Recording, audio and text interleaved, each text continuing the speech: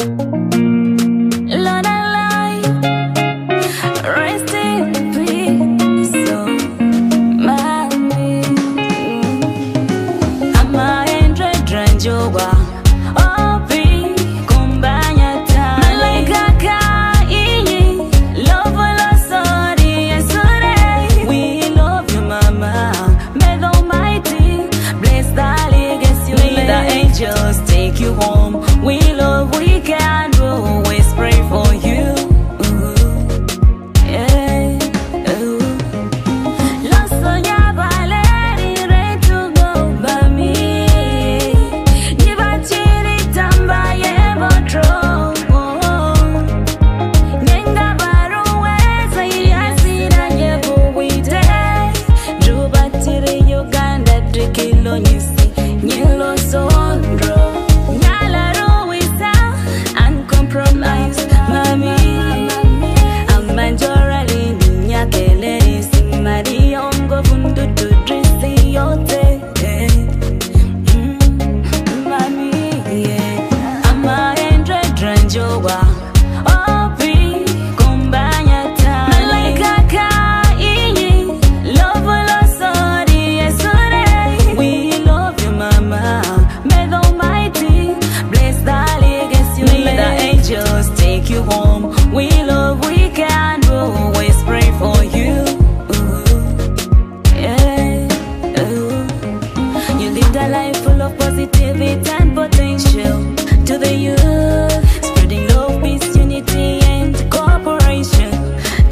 family.